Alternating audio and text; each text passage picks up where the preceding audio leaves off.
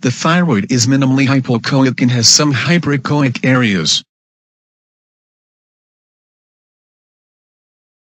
The largest hyperechoic lesion in the dorsal part of the lobe can be a nodule.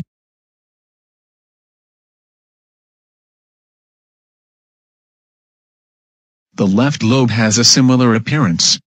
The dorsal part of the lobe is in question. The echogenicity here is completely identical to other parts of the lobe. There are hypoechoic fields upper and dorsal, and connective tissue bands ventral to this area. This makes the presentation deceptively nodular. Color Doppler mode disclosed a vessel according to the upper hypoechoic field. On enlarged view, first the hyperechoic connective tissue fragment is demonstrated. On longitudinal scan, the upper and lower hypoechoic bands are shown. Note the lack of halo,